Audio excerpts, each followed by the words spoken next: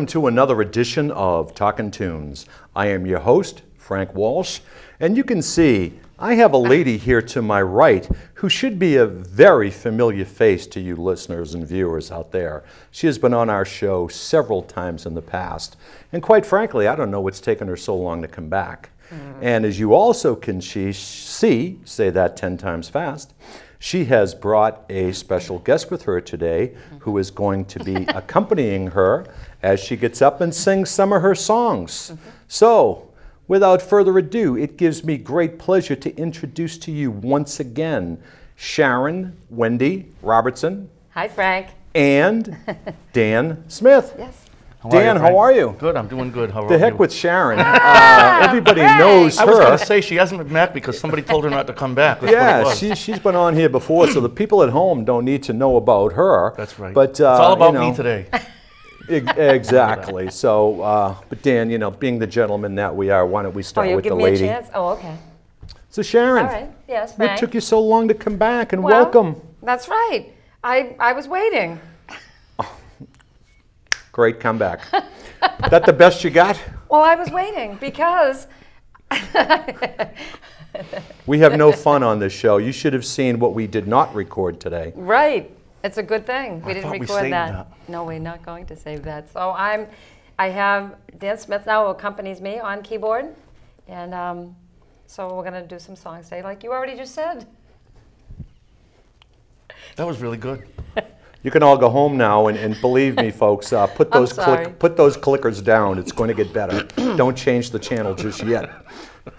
No, on a serious note, Sharen. I'm I know- sorry, folks, but they've been telling jokes for about an hour and a half, and I'm just been laughing. So I'm still laughing. We, we were serious. yes, Frank. So On a serious note, if, Yeah. we, can, if we can get one, let's do that. Mm. Mm-hmm. Um, you've had a new venture in your life, and I know that that's one of the reasons That's what why I've been you busy haven't on. come on. So why That's don't you right. take That's a, it, Frank. Take a couple of seconds to talk about this new venture that you've been uh, launching over the last few months. Yes, well, I'm a songwriter and a singer, but I'm also a reading specialist. And I have a company called The Story Train. And I found a perfect place to open up an office in Dartmouth, which is where I live. Um, it's on um, State Road in Dartmouth, and it's called the Story Train Literacy Center. And I do testing and evaluation of um, reading and writing skills and abilities, and I work with kids to help bring them up to grade level. Well, good for you. And So I'm- you folks at home, uh, if you know anybody around the Dartmouth area and surrounding, Any if- children. if you know any children who need some uh, assessments help, and tutoring tutoring help, and- uh, what's the name of the place again? It's called the Story Train Literacy Center Okay. in Dartmouth. That was our shameless plug and That's right. self-promotion for the day. But uh, Mr. Smith, why don't you tell the folks at home a little bit about you and how you and uh, Sharen teamed up here? Well, I'd like to start out by saying that I'm also a reading specialist. I've been reading all my life, and I've gotten very good at it. So I'm- Really? I'm, a specialist, uh, although I haven't gotten the degree. But it's, it's working out pretty well. Anyway, I, I met Sharen because um, I, I'm, I'm, I'm a private detective for one of the local department stores, and she was shoplifting. So uh, she said, "Well, can't you help me?" So I, what the heck? So she was in the dressing room, and I was tossing the clothes under the, you know, the little space in the I do, dressing room. I do. She started singing, and That's I not thought, "Wow, it's beautiful." She sings Oh, she was beautifully. singing so while she was I'd- I'd, love to be able Is to. that help what I her. was doing? Yeah, exactly. Oh. Yeah, you were singing. So I said, "I'd love to be able to back her up." So I took a piano lesson. And uh, we got together, and uh, it's it's it's been, It's been- that the it's rest is working out. history. It's been It's two magic, weeks, right? And uh, and Capitol is already after us to sign uh, a deal, but we're we're, wait, Yeah, we're man. holding out for the big guys. So. Well, you know, I have to, you know, I, I hate to throw you under the bus, but I thought the last time that You we were don't here throw me under the that, bus. you know, you told me that you like to sing in the shower, but it, it's quite apparent Oh, that you like to geez. sing in, uh, in, in, in In the- changing in- booths. In the department stores? yeah. Well, I Well- do like to sing, though, Frank. Yes, you do. Well, she had me crinkle paper up while she was in there. She might have been pretending a little bit, you know, she Yeah, was right. showering over there. But, you Right, know, okay, guys, It was enough a good day for her. stuff she, she, she made away with two or three garments, and Yeah, you know. I lost my job, so now I have to. This is not true, ladies and gentlemen. Now, did, did you This gave is not her, true, ladies and gentlemen. No. you gave her a reprieve to do the show today, right? She's out on she's out on temporary leave to do the Right. show.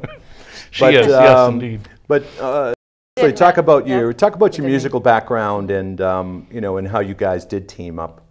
Well, I started playing uh, guitar when I was around five years old, and I've been on stage since I was seven, so it's been roughly 20 years I've been on stage now. And, um, but uh, I've written a lot of songs. I've written for the orchestra. Uh, I play about 14 different instruments, and Very cool. uh, uh, right now I have to kind of uh, take it very, very easy because I have a condition that's uh, a neurological condition that prevents me from making a living at it anymore. well, that's too bad. But I am able to play once in a while, and keyboard's a lot easier on me than guitar. So Mm-hmm. uh, uh, that's that's what I. Uh, uh, when I met Sharen, I offered to uh, Mm-hmm. to play backup for her, and she she writes beautiful songs. She has a, an excellent voice, and Mm-hmm. And not we're only still that, doing she the has, jokes now. By the she way, has she has quite a she has quite a following too. I mean, Mm-hmm. you know, uh, I, I read some of your stuff on Facebook and I listen to your music, and you have quite a following, not just here locally and, and around the United States, but internationally as well. And I know you talked quite a Mm-hmm. I bit about that the last time that I you were here. That's right. But uh, you know, before we get too serious or go back into our comedic No, we wouldn't want mode, that. um, you guys prepared a couple of songs today. Yes, we did. Um, so why don't you tell the folks at home about the two songs that you two are going to perform? Well, we're going to do um, a classic song that hopefully a lot of people will know. Um, we're doing that one. yes, we're going to do Fever, Fever. Frank. And we're going to do an original that I wrote, Uh huh. yeah, called Hold Me. Hold me. Yes. So if you two want to take your microphones off Yes. and uh, get up Uh, there and, and get ready to perform. Okay. All right. So, ladies and gentlemen, uh, you know, I, I appreciate us, appreciate you staying with us this long, but uh, Sharen and I go way back, and it's and it's very apparent that uh, Mr. Smith has as twisted and warped a sense of humor as I have. So, Miss Roxanne, take it away. So the first song we're going to do is Peggy Lee made it famous, called Fever. Um, and okay, Dan.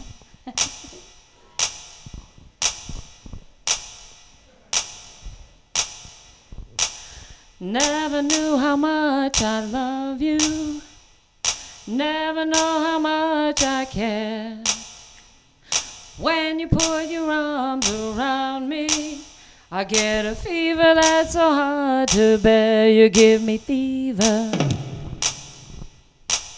When you kiss me, fever when you hold me tight. Fever in the morning, fever all through the night. Sun lights up the daytime, moon lights up the night. I light up when you call my name, and I know I'm gonna treat you right. You give me fever. When you kiss me, fever when you hold me tight. Fever in the morning, fever all through the night. Everybody's got the fever, that is something you all know. Fever isn't such a new thing, fever started long ago. Romeo loved Juliet, Juliet, she felt the same.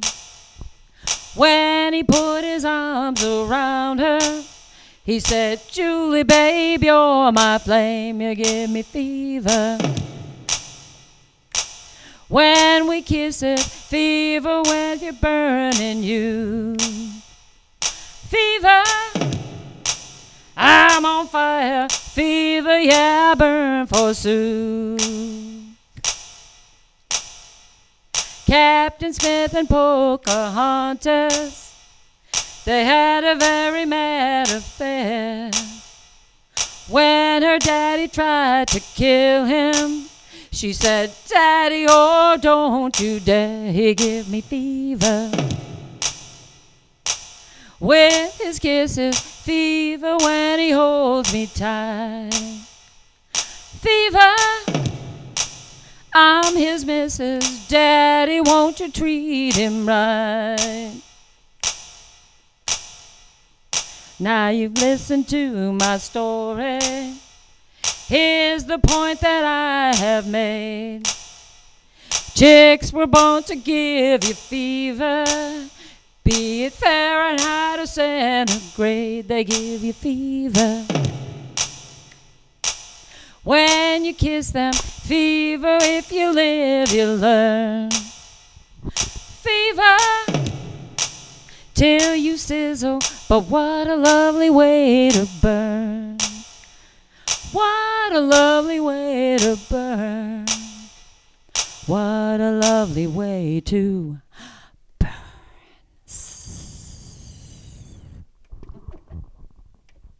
That's a fun song. and now this is an original that I wrote. This is called Hold Me.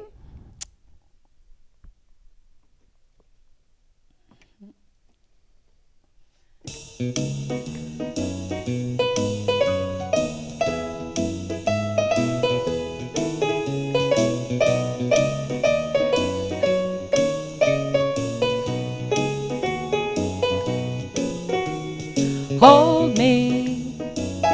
never let me go. Love me, now I'm all alone. Tell me that you want me so. Cause I'll be on this lonely track till my baby comes back, you know. Where's the life I knew? Where the sweetness of you kept me warm and never feeling blue. You broke my happy heart, you tore it all apart, and now I'm lonely through and through. Hold me, hold me with strong hands. Come on and kiss me like I know you can. That you understand? Cause I'll be on this lonely track, wondering where my baby's at. He's my man.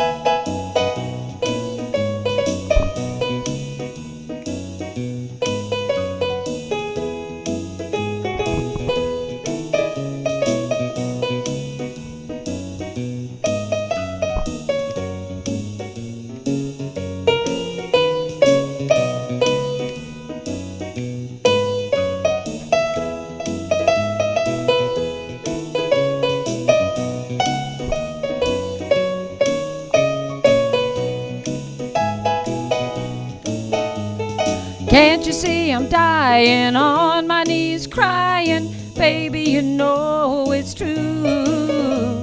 Without you by my side, it feels just like I died, and now I can't let you go. Hold me, never let me go. Come on and kiss me. Now I'm all alone.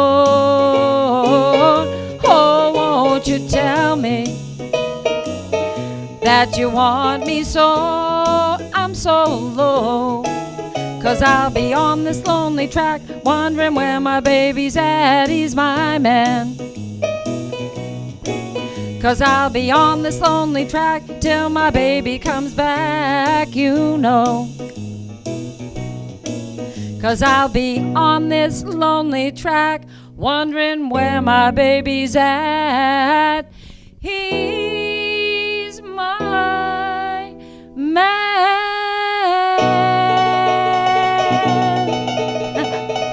That's right.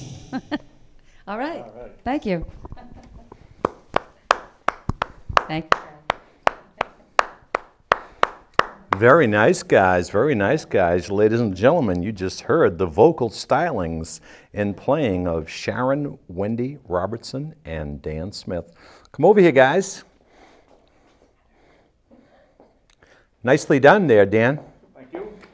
Sharen, nicely done as Thank you. always. Thank you. Now, you wrote that latter song, right? I did. Now, where did you come up with the inspirations to write your songs? Well, I am inspired by all kinds of things in life. Okay. It's all about living and about being true and authentic. And so when I have something that inspires me, I love to take photographs. I post a lot of them on Facebook. I love You do? sunrise and sunset. You do? And I, I'm probably one of the few people who's able to take pictures of the sunrise because I'm up early every day. So I get in my truck and I drive and I take pictures of the sunrise wherever I can find them. And so there's not a lot of those on Facebook. Well, Mostly sunsets. I would semi agree with you, and we Yes. could have that conversation off air. And um, now, uh, Yes. Let me ask you: when you write your songs and you have these inspirations, Mm-hmm. which come first, the lyrics or the melody? Hmm, the lyrics, probably. Mm-hmm. Although not always, but usually the lyrics first. But really just an idea, and then I start thinking about the the words, and then I start humming along to that. I don't play an instrument, Mm-hmm. although I think my friend Dan might help me out with some guitar. I was going to say the last time you were on, I you were picking up and playing around with the guitar a little bit. And I'm sorry to say I haven't followed through with that.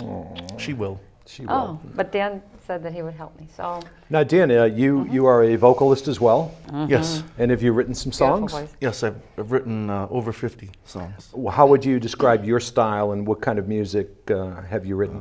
Well, I've written all kinds of music except for rap. Okay. I haven't, although I did write one rap song, um, but it was more like a uh, for a, a children's, Mm-hmm. um, almost like a, uh cart, 2D cartoonish kind Okay. of thing. Um, but I mostly get my uh, my ideas from uh, the backs of cereal boxes. That's I, I write the music from that and. Uh, So you know, like Cheerios, I love. Cheerios, yes. Yeah. I was the one that invented that, and the guy that I was having breakfast with actually took it to Cheerios, and they they took it from me. So that's I can't another wait for the album. You know, the album. You know, maybe with little Cocoa Puffs and Wheaties. Fruit uh, Loops Rice is my Krispies, next. My next Loops. album will be Froot Loops, and uh, and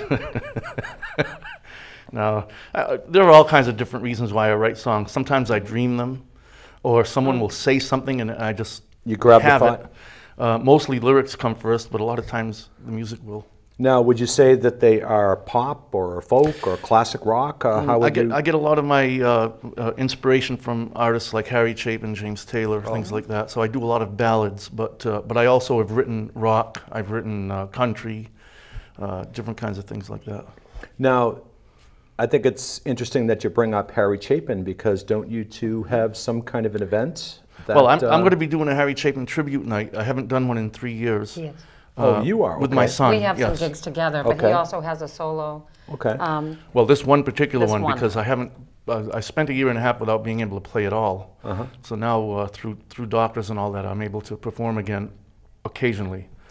So I'll be doing a Harry Chapin tribute night for the first time in three years. I used to do one every every year, and uh, usually we try to collect tips, which we donate to uh, some type of food thing That was because his great Chapin was, cause. uh, yeah, he was World Hunger Year.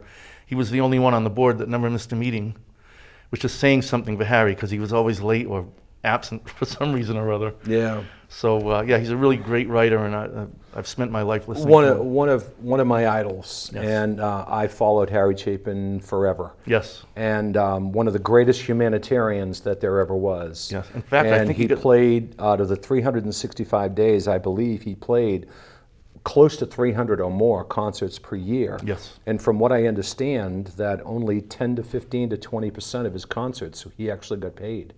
That many of his his concerts were for the food Free. charities Right. and everything. And and when he passed, I was devastated yes, devastated more more so than you know like you know and I'm a rock and roll guy from the 80s and the 70s you know but like the Hendrixes and the Right. John Lennons and I was devastated when Harry Chapin died. I mean, I think of anybody who has passed, he was the one who would affected me the most. So I think that that's a great cause. So why don't you tell the folks at home, um, Where you- where it is. you know, when that is? sure. It's going to be October 10th 7 p.m. and uh, at the Mattapoisett Inn, which is in Mattapoisett, Mass. October 10th? I'm sorry, November 10th. November 10th. October 10th. I'm going backward. Yes, it's it's it was October 10th. No, it's November 10th uh, at 7 p.m. There's no admission, and certainly you don't have to donate. You can come in and just listen to the music. But if you'd like to donate, all of the money that we we uh, gather that day will go to probably Mercy Meals and More, which feeds the homeless. Nice. So Very, very uh, nice. Yeah, it'll be a nice time. Now, as you can see, time winds down pretty quickly. So why don't you talk a little bit about some of the places that you might be playing and Yes. some of the things that are coming up for you guys? We are. We we are doing the brunch on Sunday, October 25th at Thai Taste 2 in Dartmouth. Dartmouth, okay. That's at from 11:30 to 3, and then they have that every month, and we're we're the featured band or duo to play there for the, the brunches at the every. It's the last Sunday of every month, Great. um, and We're locked in. we're I know you're going to be playing in several other places now. Um, you keep your website and your Facebook page up, up to date. Up to date, I do. With ske- there's a schedule of um, gigs there. Yes. So let me just say that website once again, SharenWendy. Dot Uh, uh, dot com, and you can get a, a hold of her schedule, and you can follow where these two guys are going. Yes. Um, and so, we're available for bookings. and they're available for bookings. Yes, please. Now, why don't you tell the folks at home about this next song that you're going to But be and for performing? private parties and stuff, you know, I did that. We can do that too. They do So private party, parties folks. and you know Christmas, the holidays are coming up. If you're having a private function or you know a small, you want just a nice you know mellow kind of acoustic duo to play, um, we can do that. Um, although the keyboard isn't acoustic, but that's all right. Oh, we can do acoustic. I we can can play my he guitar. could play yeah, guitar, sure. so we can we can be hired for that I that know. as I know. well. We know two and a half well, holiday well, songs. well, if Two there's and a half a, holidays two and a on. half. if, if there's a pool table there, I'll bring my acoustic. Okay. Yes. Um, it's cue. I, All thank right, you, we need Dan. time is Where's Thank winding you, down. Dan. you guys need to sing. So what are you going let's to be singing? We're going to sing. Take off your microphones. And, uh, well, another favorite of everyone's is, um, how do you take? This? Oh, there it is. Crazy, because That's I'm our not theme crazy. song. I think I think that's appropriate for the show, folks. Okay. All right. Get up there and, and, and get ready. Okay. So, ladies and gentlemen, uh, for a little bit of comic relief, in a second you are going to be hearing Sharen Wendy Robertson and Greg Smith, Dan Smith, I'm sorry, doing uh, the classic song Crazy.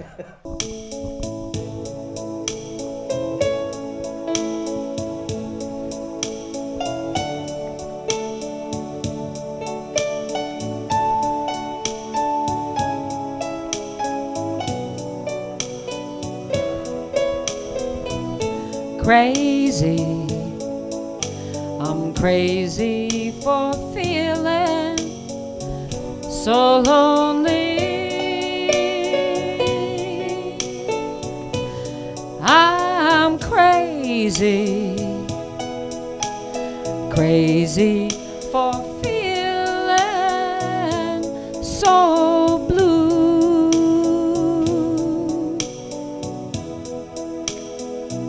I knew you'd love me as long as you wanted.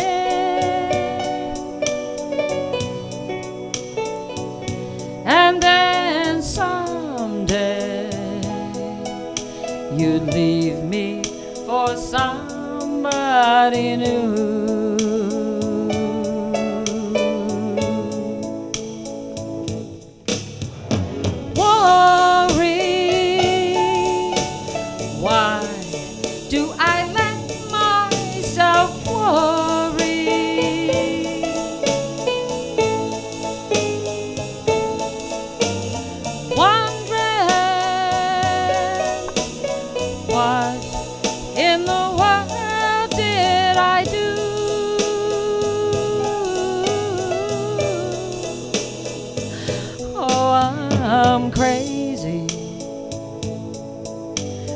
Thinking that my love could hold you. I'm crazy for trying and crazy for crying, and I'm crazy for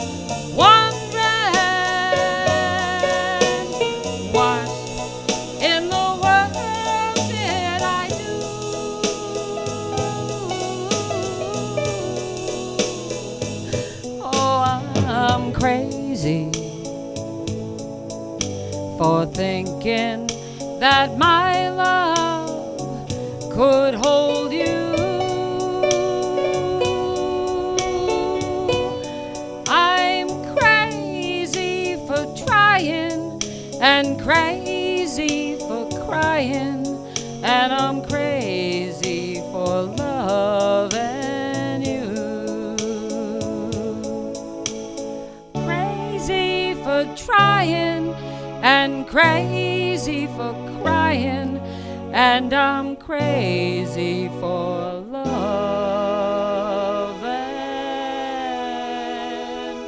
you.